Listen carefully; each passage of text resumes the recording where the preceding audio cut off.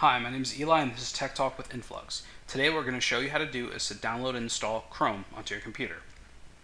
Now, you're going to come down here into your Microsoft Edge in your taskbar. You're going to click on it. If you do not have Microsoft Edge on your taskbar, that's okay. We're going to come over here and we're going to search Microsoft Edge. Click enter. From there, we're going to go to the search bar, type in Google Chrome. That's it. Click enter and you're to scroll down. So right here, we're to click here. Just exit this out. This doesn't even matter. Now, we're to download Chrome. Click here, and then click accept and install. Now, it's to ask you what you want to do with the file you just downloaded. So with that, you're to just click run.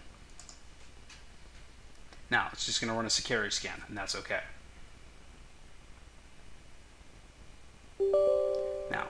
For me, a window just popped up. You may not see it, and that's okay. But you'll see a window has popped up, and it's going to ask you something along the lines of, do you want to allow this app to make changes to your device? All you have to do is just click yes. Then from there, it's going to download and install Google Chrome onto your computer. Now that you have Chrome installed on your computer, what you can do is just exit out of Microsoft Edge. You're never going to use it again. That's okay. Now, it'll ask you if you want to sign into your Google account. If you want to do that, by all means do it. And if you don't, that's okay.